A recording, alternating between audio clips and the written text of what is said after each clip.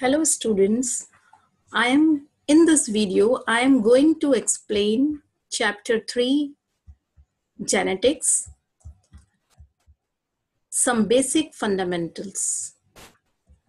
You might have heard that you got height from your father and fair complexion from your mother. Take a look at this photo can you see that the color of the child's eye is just like her father? But father's hairs are straight while daughter's hairs are curly. What accounts for such similarities and differences? The answer to this and several related questions are dealt within genetics. Genetics. Now it is a study of heredity means passing of body features, both similarities and differences from parents to offspring and the laws related to such transmission. Here we talk about similarities and differences both for body features. Now, let's take a look at the different terms that we come across while studying genetics. Heredity means transmission of genetically based characteristics from parents to offsprings. Like begets like. It means that young one look like their parents. We know that cat, cats produce cats and not dogs. And human produce ch children, not any other animal. Means same type of species has to be originated. And now variations all organisms produce their own kind but the offsprings are never identical to their parents. Some difference is found in them. These differences are known as variations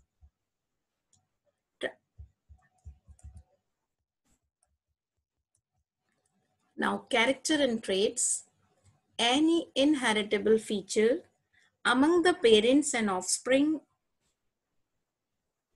of an organism is a character.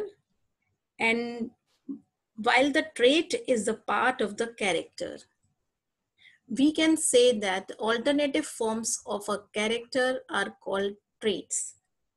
We inherit thousands of characters from our parents for example, hair shape is a character and curly or straight two alternative forms are traits. In the same way, color of the eye, character, and brown or blue, these are traits.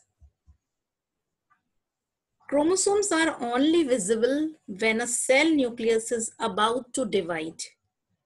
Photographs of the dividing cell nucleus can be taken through a high power light microscope.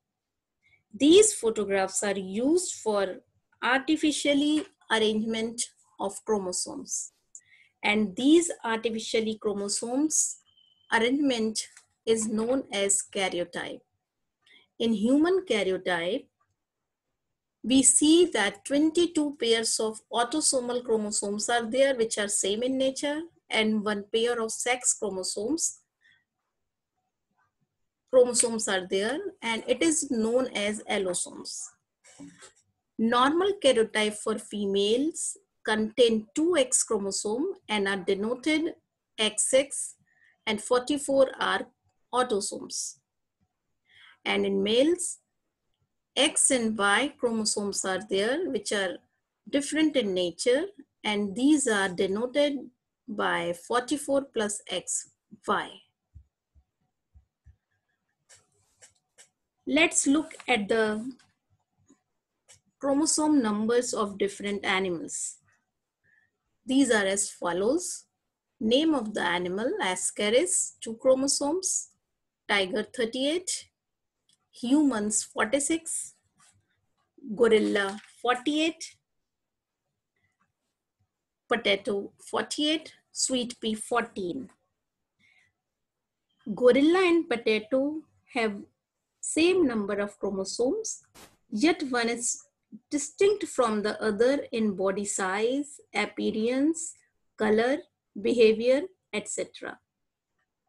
All such characteristics of an organism are the result of the genes located on the chromosomes. Now sex determination, son or daughter. Let's look at the inheritance pattern. The sex of a child depends upon the kind of sperm that fertilize the egg. We know that sex determination in human has total 23 pairs of chromosomes. Out of that 22 pairs of autosomes are same in male and female and one pair of sex chromosome is there. In human, all the gametes produced by females contain only the X chromosomes, X and X, whereas male produce two kinds of gametes, X and Y. Now, fertilization of egg with sperm carrying X chromosome result in female child. If the egg X is fused with Y bearing sperm, the resulting combination is XY. Means male constitution and the child produced is a male son it means 50-50% chances are there of formation of daughter and son. Punnett square now. Punnett square is a pictorial formation in which we take gametes of one parent towards one side and other parent are placed along the another side of grid and the possible combination genotype of the opposite gametes are given in the subsquare. And here with the help of combination, we can get answer. This is an another example to make the things clear. The human population has two variants of tongue roller or non-tongue roller. And in this, when we make a cross, RR capital, homozygous, and capital R, small r, heterozygous, and small rr, homozygous recessive. In this, this combination will be formed and according to that, it will be decided that who will be tongue roller and who are not. Now sex-linked inheritance, it is the appearance of a trait which is due to the presence of an allele exclusively either on the X chromosome or on the Y chromosome. When we talk about X-linked inheritance, it means completely genes are present for this inheritance on X chromosomes. Examples are hemophilia and color blindness. Hemophilia, this is a rare disorder in which blood does not clot. And color blindness, individual can't differentiate between red and green. Now, see all the symbols which are used in this crisscross or in this Punnett square method. XX is representing normal female, XX0 carrier female, but it looks like normal and having genes or trait for disease. But this disease will not be there in carrier female. X0, X0, colorblind female. When both X are with a 0, so then it will be colorblind female. And XY normal male. X0Y because male is having only one X chromosome. That's why if it is defected, so then person will be male will be colorblind. Now here uh, we discuss two cases. Father is colorblind and normal mother. When we make a cross, so towards one left hand side grid we take uh, mother and right hand side grid we take father. And when father is colorblind, obviously it will be with zero. X, X0, X, X zero and XY and XY. These are the four sub-square results. It means two daughter carriers, two normal son will be formed. One more case, what type of children will be produced if father is normal and mother is carrier. A da daughter carry, carrier, one son colorblind, one son and one daughter normal. When you will draw this Punnett square, you will get the results. Now, Gregor John Mendel, he is very known. He was born in a peasant family. He had his early education in a monastery and later he studied science and mathematics at a university of Vienna. The monastery had a lovely garden which satisfied his urge to understand some secrets of nature regarding the inheritance of certain features in garden pea. His findings are called Mendel's law of inheritance. Mendel's law of inheritance, Mendel has chosen sweet pea plant, Pisum sativum, on the basis of its characters. In this, he has he has taken he had taken Mendel uh, plant because plant had various contrasting characters such as length of the plant, color of the pod and shape, shape of the seed that were visible to the naked eye, moreover self-pollination as well as cross-pollination was possible in these plants. And crossing between these plants could be controlled. In addition, these plants grow quickly and produce a large number of offsprings. So then Mendel has uh, done number of experiments for seven years. And now important terms related to Punnett square and Mendel's law, genome. It is a full complement of DNA. Allele, alternative forms of a gene, and it occupies on the same position on homologous chromosome. Homologous chromosomes means one is acquired from father, one is acquired from mother. Then homozygous condition when both are having same alleles. For example, capital TT or small tt means it should be same capital or small. Heterozygous having different alleles for the same trait. Example, one capital T and small t. Phenotype, the observable characters which are genetically controlled. For example, whatever visible characters are there, these are related with phenotype. If any capital letter is there, it will represent one tall character.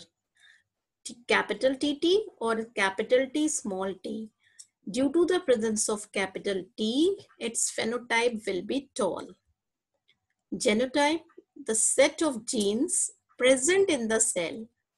When we talk about tall plant, its genotype will be capital TT will represent homozygous tall and capital T small t will represent heterozygous tall. Now Mendel's law, Mendel's uh, uh, has mentioned three laws. The law of dominance, out of a pair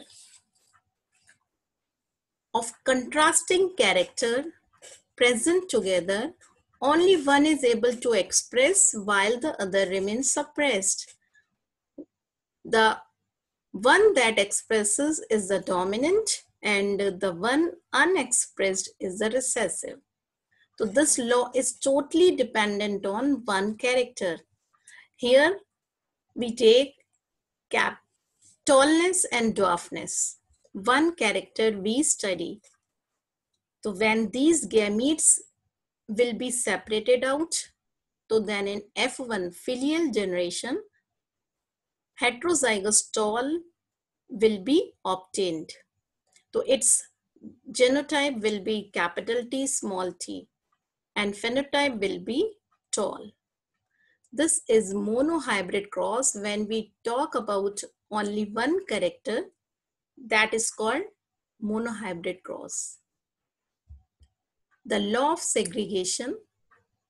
This law is also related with one pair of contrasting character.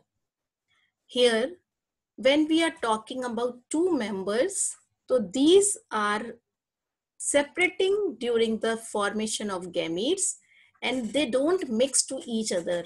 For example, see the Punnett square, see the table.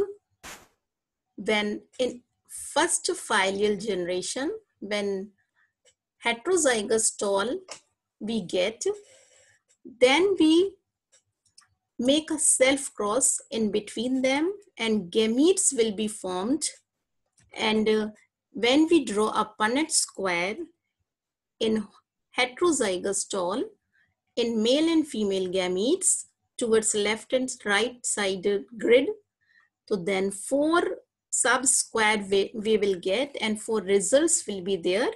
Capital TT, capital T, small t, and small tt.